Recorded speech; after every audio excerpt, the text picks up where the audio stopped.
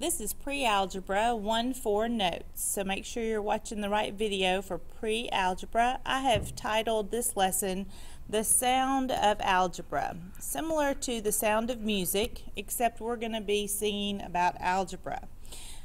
The first example here says to graph the ordered pair 3-4. Now this should be review, but just in case you're a little bit rusty, we're going to start at the very beginning. Oh, that's a song and the sound of music. Let's start at the very beginning. It's a very good place to start. The origin is the beginning. So if you would follow me on the graph below, the origin is here. Notice this is my x-axis and vertically that would be my y-axis. So you're first going to take care of your x and in the ordered pair 3, 4, 3 is my x and 4 is my y. Hopefully this will all come back to you. So the x coordinate is 3. I'm going to move, let's change colors. I'm going to move 3 to the right. So that goes here, 3 units to the right. That's my x. Then I need to use 4 units up because that is my y. So from 3, I now move up 4 and then we would put a dot right here and there is the uh, coordinate 3 4 alright so I hope this is review. I want you to try to do example B so pause the video right here. Really I want you to pause and try to plot 0 4 and 4 3 on the graph to the to the right. Okay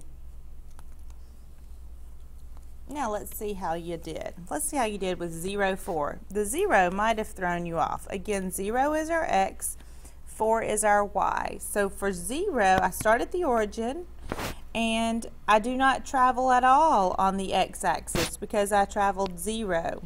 So I'm only going to be traveling up 4 units, so there is the point 0, 4. Now to plot 4, 3, 4 is my x, so I'll move over 4.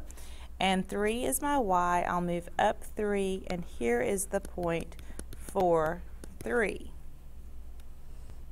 Okay, we write ordered pairs from points that are given. So here we want to write the ordered pair for these three points. So for G, I would have to decide what the x value is. For G, I went over 1 and up 1. So the Coordinates for G is 1, 1. F, the coordinates for F. For F, I went over 4.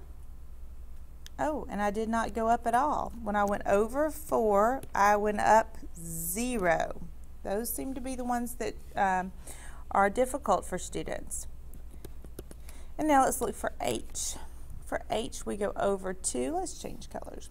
I'm going to go over 2 and up 3. 1, 2, 3. See the coordinate 3? So H is over 2, 1, 2, and up 3.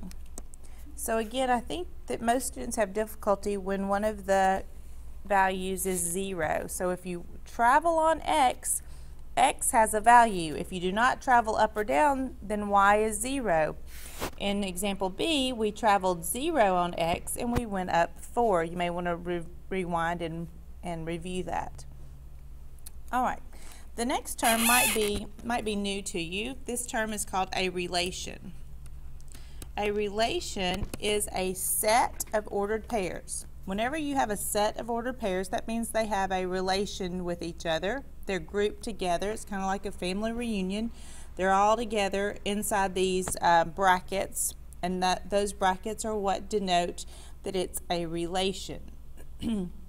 All right, any x and y paired like this in parentheses is called an ordered pair. Now, again, let's go back to our sound of algebra. I like to draw my x and y like this and make my x look like a lady in a pretty little dress and then this very manly shaped y.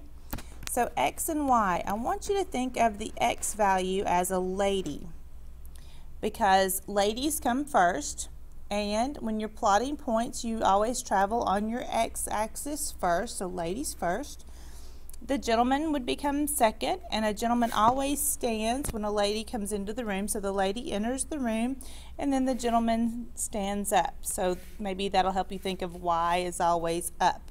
So the gentleman stands, so he's the vertical axis, and the lady is the X horizontal axis. Okay. All right, we've already referred to 0, 0, and that is the origin. So I need you to know whenever I refer to the origin, it's 0, 0.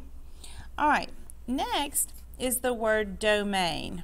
The domain is always the set of x values. So let's go back over here to um, me referring to the x uh, as the lady. In The Sound of Music, there happens to be this song that says, doe, a deer, a female deer. Well, I want you to think of domain. I want you to think of a female deer for doe, and then our X was our female representation here. So hopefully that'll help you remember that all X values make up the domain. That's just a little mnemonic to try to help you remember that. The range is the Y values. So our range is our y value.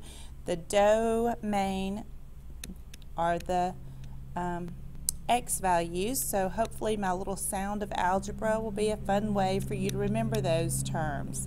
All right, let's tackle this big old word problem. My goodness, there's a lot of words right here. Sue, she is following a recipe for cookies which require two cups, there's a number there, two cups of sugar for each batch of cookies made. Suppose that X represents the number of batches made. Okay, so we don't know how many batches she's going to make. That's going to be X. But for every batch, she's going to need two cups of sugar. So that's two per batch. So that's how I would write that um, expression, 2x. It says, number one, make a table of ordered pairs in which the x-coordinate represents the number of batches made and the y-coordinate represents the number of cups of sugar needed. And let's test this for one, two, three, and four batches. Okay, so first thing they're asking me to do is to make a table. Here I go. We did this the other day. So this is going to be my input, my x values. They said that those were batches and they want me to test it for one, two, three, and four batches. Then my output is going to be my y value.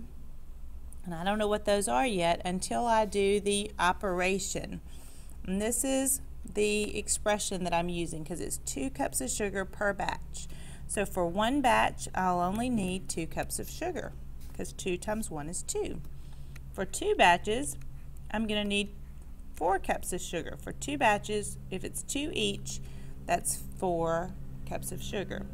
And then 2 times 3, I'll need 6 cups, and 2 times 4, I'll need 8 cups. So the result here for my ordered pairs are 1, 2, 2, 4, 3, 6, and 4, 8. All right, second it wants me to graph my ordered pairs. That's why I rewrote the ordered pairs. You could make that even an extension of your chart if you would like. So I come over and I go one, my X value, ladies first, one, and then the gentleman goes up, one, two, stands up for the lady as she enters the room, two, and then we're going to go up four to plot that point, over three, and up six, and my graph with all of my planning still wasn't big enough. So here we go, we're three, one, two, three, four, five, six, so approximately there, and four is going to even go seven, eight, up a little bit more. So it ran off the graph. I'll try to do better and, and provide you all with a big enough graph for your problems. All right, so number three, this is the first assignment. Here's my second assignment. My third assignment says determine the domain and the range. Now those might be new terms to us, so let's go back. Doe a deer, a female deer. So third, I need to define the domain. The domain are my does, my females. What were my does? Here's my does. My domains are 1, 2, 3, and 4. and it's a set, so you need to practice your squiggly brackets. I need to practice mine too.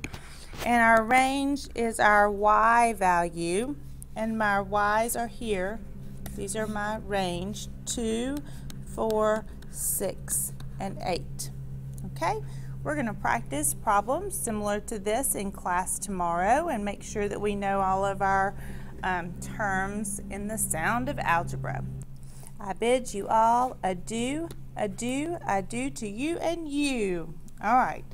Thanks and have a great day.